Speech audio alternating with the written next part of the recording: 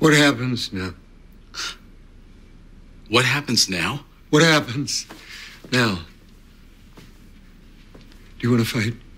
Because I don't. I don't want to fight. You want to yell at me? Go ahead. I'll listen. You want to call the police? You don't have any evidence. Do you want to take Ella and leave me? You don't have a job or an income or the ability to outrun my legal connections that will fight to give me sole custody of that sweet little girl in the next room that I bought for you.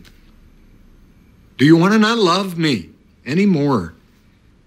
Because I still love you. You're still the love of my life. And I'm still the same man you married. You just maybe never noticed the 666 on my forehead before. Now you see it. I'm hoping you'll love me anyway. I'm hoping for better or for worse means something to you, but maybe maybe it doesn't. Maybe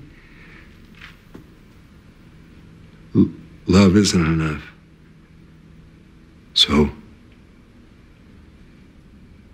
I'm standing here afraid and in my underwear and without my soul, asking you what what happens now. I'll give you some time to answer. You take all the time you need. But think carefully.